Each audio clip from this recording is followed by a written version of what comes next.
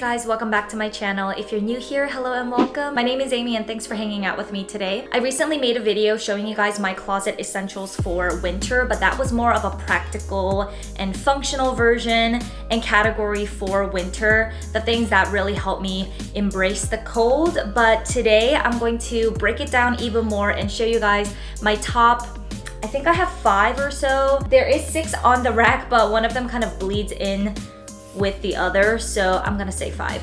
I have five essential coats and jackets for you guys today for the winter and early spring season. I see a lot of people already creating content for spring fashion, so I was like, okay, gotta get on that train. So that's what we're doing today. You guys are already aware that I have a pretty big obsession with coats especially long wool coats and obviously that's going to be in the video as well but I do have a well curated kind of selection of coats and jackets that I think is necessary for me, my closet essentials, for the remainder of winter and going into early spring. So if you guys are curious, make sure to stick around for the rest of the video and now let's go ahead and jump into it. Before I start showing you guys the outerwear, I wanted to do a breakdown of my base layer for today. Everything will be linked in the description as well as my sizing, measurements, anything that would be helpful for you to maybe shop or reference for sizing. It's all going to be in the description, just FYI. Let's go ahead and start off with jewelry. I have on a layering necklace here. I'm gonna get closer. This is by Ana Luisa and I have some rings here that are also from Ana Luisa. Um, I'm not working with Ana Luisa in this video, but I just wanted to tell you guys, I don't have earrings on today, like in my main hole, which is odd because I usually have earrings on, but I don't today. I love putting on jewelry in simple outfits just because it makes everything look a little bit more sophisticated. I have this very basic long sleeve shirt. It's very soft and cozy and it is a tan slash camel color. I thought this would basically go with any of the coats that I have for today. And I have these kind of mom fit jeans. I absolutely love this pair. It's super high-waisted, goes above my belly button, and it cuffs at the bottom. I didn't cuff them myself, it actually came cuffed. So yeah, but these fit me so, so, so well. I love it and this outfit will basically go with all of the coats that I'm going to be showing you. I will go ahead and link these in the description as well if I can find the exact ones. Let's go ahead and start off with the obvious. You guys know how much I love my wool coats and this one is an extra special one because it is recycled wool as well as being handmade. So the craftsmanship in this is so, so nice. Obviously you can find other ones that are more affordable and or that are wool blend instead of pure wool. I believe this actually is wool blend. So it's not like 100% pure wool or anything. This one is a really nice silhouette I love a wool coat that is in a neutral color scheme, such as it could be a tan slash camel. You can also go for a white or gray or black. Um, did I already say black? I'm not sure. I don't remember. I have a couple of wool coats to show you because that is the category that I love the most and I just could not narrow it down to just showing you guys one. This one has got to be one of my favorites because there's just something about a camel coat that just looks so timeless and classic. I just think it elevates any outfit so, so well. This actually comes with a belt as well. It doesn't have any zippers or buttons, so it's very minimalistic and very elegant looking. It doesn't have any bells or whistles. It's just a very nice overcoat. A feature that I absolutely adore about oversized coats like this is that they are so versatile where you can make sure that it is super bundled up and warm by layering a lot of clothing inside because it does have a lot of room in the arms and everything. You would still be able to really bundle up under this. However, when we go into spring, it starts to get a little bit more sunnier and the weather starts getting a little bit warmer. This is still appropriate for that climate because it is such a thin kind of material. It's not bulky at all. I just feel like this is such a convenient coat because it is fairly lightweight. It's not super, super bulky where it's uncomfortable to like carry around or have on you. I have one that is a black color. You guys know I need a black coat and this is my new favorite black coat. This one is actually lined inside, unlike the tan one.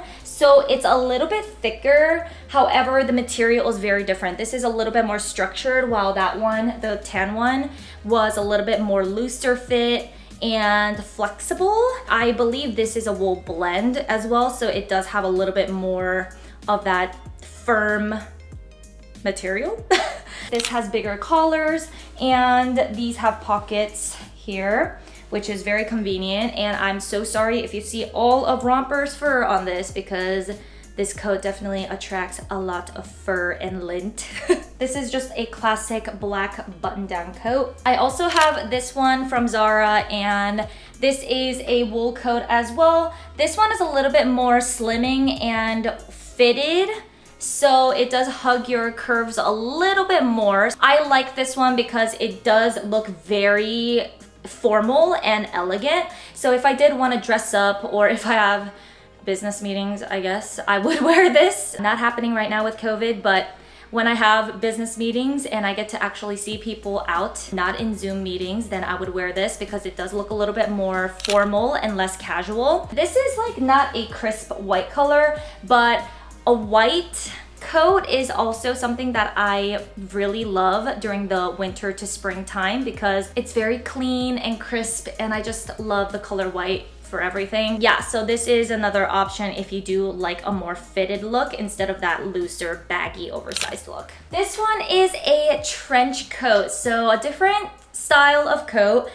Definitely more for weather that's not extremely cold. This would be perfect for early spring. I love a good trench coat. It just never goes out of style, something that is a staple in anyone's closet, I think. And this silhouette is really beautiful. This is by Abercrombie and it does have a belt as well. So you can belt it in, but it also does close with these button fixtures. It does have a very nice kind of like waterfall-like structure. It's not lined inside, so you can definitely put some layers under it if you'd like. It's fairly lightweight and would be great to take on and off during the spring when it starts getting a little bit warmer. There's just something about a nice trench coat that really dresses up an outfit but without looking like you're trying too hard. It's like one of those like in-between pieces that have a really good balance.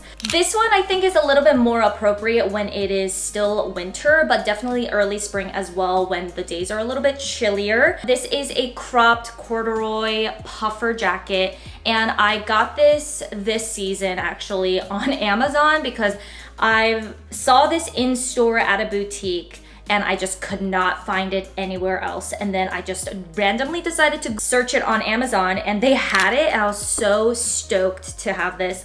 It is by, I forgot the brand, I think it's RVCA and I got it in a size extra small and it fits me so so perfectly. It is still very oversized so it does look a little bit puffy on me which I actually enjoy the look of. You definitely don't need a layer under this because this will keep you very very warm. I love the texture of corduroy and like I said I love my winter whites and going into spring white just looks really really nice and feminine. It's just such a vibe it makes me feel like a little marshmallow. Last but not least, I have this really lightweight jacket from Lululemon and it is a quilted jacket.